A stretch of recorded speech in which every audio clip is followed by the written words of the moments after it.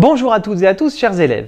Aujourd'hui, nous allons apprendre à encadrer une fraction par deux entiers consécutifs. Alors, on l'a déjà vu dans l'année, des entiers consécutifs, ce sont des nombres qui permettent de compter 1, 2, 3, 4, 5, 6. Et consécutifs, ça veut dire qu'ils se suivent dans la numération.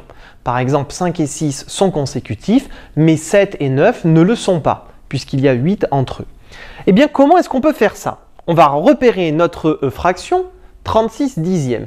Et puis, alors il y a plusieurs méthodes, je vais vous en donner une qui fonctionne toujours. Eh bien, 36 dixièmes, c'est 36 dixièmes, c'est 36 divisé par 10. On l'a vu, hein, une fraction, c'est une euh, division. Et donc, ça nous donne 3,6. Et donc, pour encadrer 3,6 par deux entiers consécutifs, on l'a déjà fait avec les nombres décimaux. Ici, on va avoir 3. Et ici, on va avoir 4 puisque 3 c'est plus petit que 3,6 et 4 c'est plus grand que 3,6 et donc 3 et 4 sont bien consécutifs. Voilà comment on va pouvoir encadrer euh, par des entiers consécutifs en utilisant eh bien, la division. 2 euh, septièmes, 2 septièmes eh bien, c'est égal à 2 divisé par 7. Alors moi, je ne sais pas trop combien ça fait de diviser par 7, donc prenons euh, la calculatrice, voilà. Très bien. Et puis on va faire 2 ben, divisé par 7.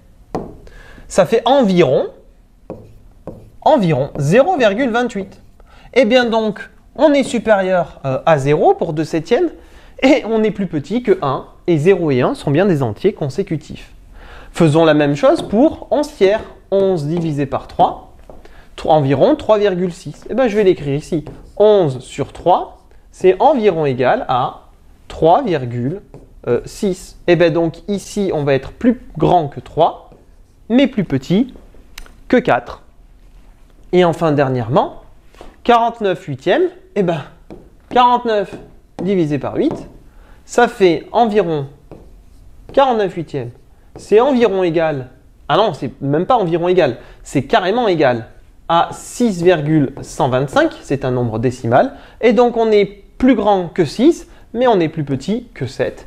Et voilà comment est-ce qu'on euh, arrive à encadrer une fraction par deux entiers consécutifs? Je vous l'ai dit, il y a d'autres méthodes. On les verra en classe.